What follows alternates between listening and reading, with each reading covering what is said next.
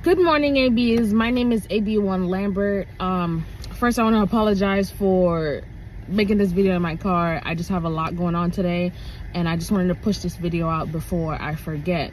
Um, I've been in the Navy a little over six years. Five of those years I served on board the USS Carl Vinson as the Waist Catapult Work Center Supervisor and the Safety Observer. Um, currently, I'm at NAS Jacksonville as the E-28 Shore Base LPO for the arresting gear portion of it.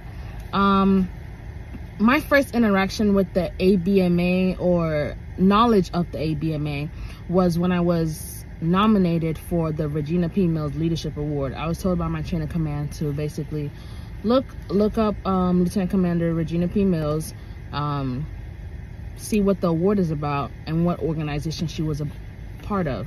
And that's when I discovered the ABMA. And I was like, wow, I did not know about this association. And because I just thought, you know, I love my rate. So we're just all a family. We're all in this together. and we're all struggling together through the heat, through flight ops. We're doing it.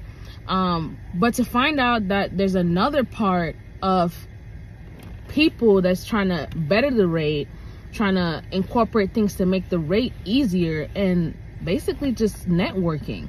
There's a whole network of people that we have access to to pick their brains to be to the another level in our careers. And I'm like, I've always wanted to be a part of this type of change in my community.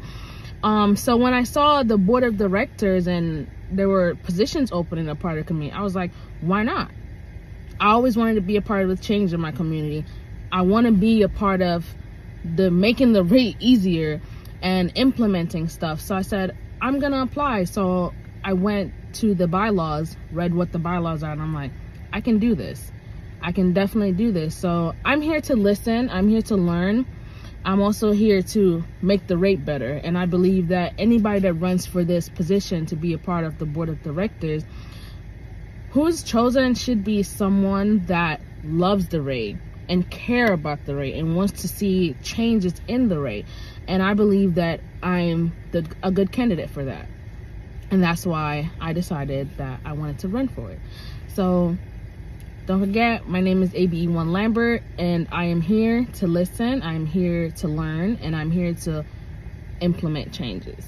Thank you. Have a good day.